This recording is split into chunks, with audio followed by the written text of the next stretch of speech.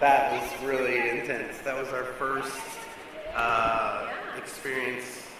We just walked into the mall, and I don't know, maybe it's fate. just kidding, Mom. that was the first time we got to hear a call of prayer, and it was at the mall. How funny is that? Right. Yeah, a, a leopard. It's a leopard. You say, goodbye. I love you. I love you.